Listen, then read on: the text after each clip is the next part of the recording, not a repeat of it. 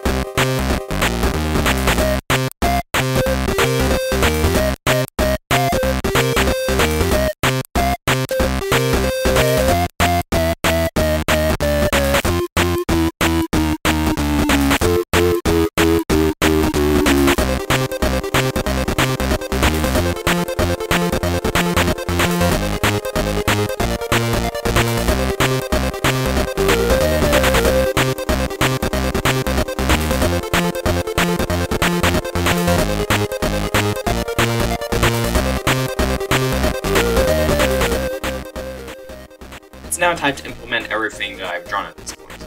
This shouldn't really take all that long, but please remember to actually import the assets properly. I forgot to import some assets, so uh, you'll see you'll see that a bit later, but uh, yeah, it's just time to import everything.